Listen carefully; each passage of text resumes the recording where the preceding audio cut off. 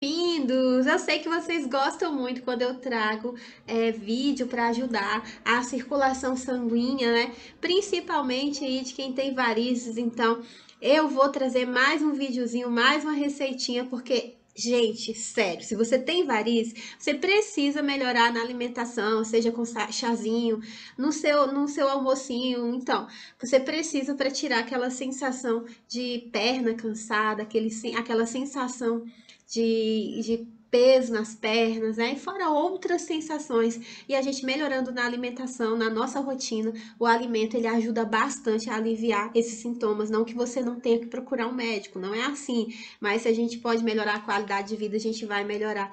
E hoje eu vou trazer uma receitinha que minha mãe faz na casa dela. Como vocês viram, aquela perna lá no começo do vídeo, é a perna dela, né? Com varizes, né?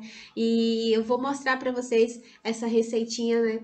Que ajuda bastante ela, fora as outras que eu trago aqui direto, porque a alimentação, como eu falei para vocês, diz tudo na vida da gente. O que, que são varizes, né? São essas veias dilatadas e tortuosas que geralmente aparecem nas pernas. Elas são causadas por uma série de fatores, né? Incluindo genética, idade, gravidez. As minhas varizes, elas começaram a aparecer mais depois da minha segunda gravidez. Até estilo de vida sedentário, é, você costuma é, ter, aparecer as varizes, né? Quando que elas costumam a, aparecer. E o chá de limão, ele ajuda a melhorar bastante a circulação e aliviar os sintomas. O limão é excelente fonte de vitamina C, flavonoides, que são antioxidantes poderosos. Esses antioxidantes, eles ajudam a fortalecer, fortalecer as paredes das veias, né? E melhorar o fluxo sanguíneo, reduzindo aquela inflamação até o inchaço que está associado com a variz. O limão, ele contém é, um composto, um ativo chamado expedina. Expedina. Vocês já ouviram falar? Melhor, esperidina, esse é o nome, gente.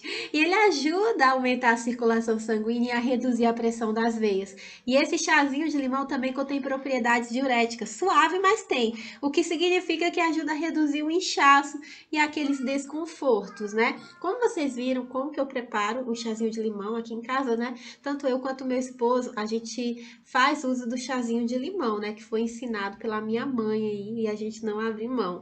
Lógico, a gente vai escalando aqui com outras receitas que a gente traz aqui no canal. Como que é que faz? Eu pego assim, uma rodelinha é, para uma xícara de água. Esse aqui é uma xícara, tá? É um copinho mais bonitinho, mas é uma xícara.